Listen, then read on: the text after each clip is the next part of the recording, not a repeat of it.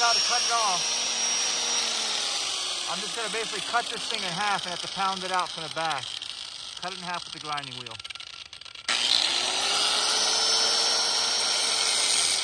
Like it's got a little slot for a screwdriver.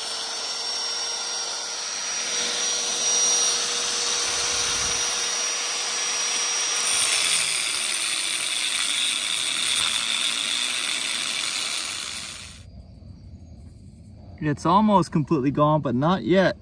It's still hanging in there. Got to finish it off with that grinding wheel.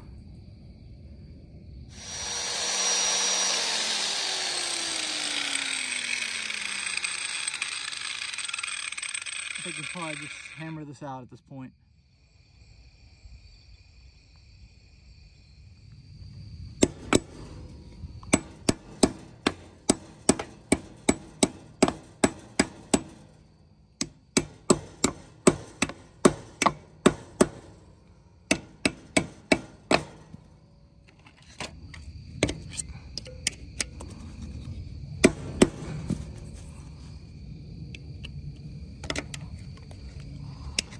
Okay, this got to the point now where this rim should come off, which is what I want because this thing is messed up. I need to get a new one on there with a new tire. There we go. Finally breaking free.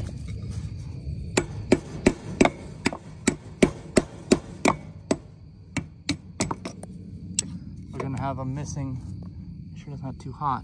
There's the inside of the nut missing and messed up stud here. Well, actually, it just goes out the back. Yep, it's going out the back. Okay, it's gone now. Out the back. There you go. There's your solution. Fix. Let me know if this works for you guys. Be sure to like, share, subscribe, and hit that thumbs up and the bell for notifications.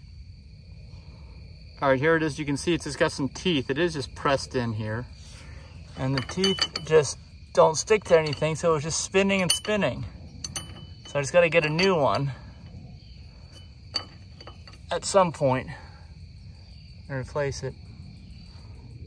My old parts. There we go.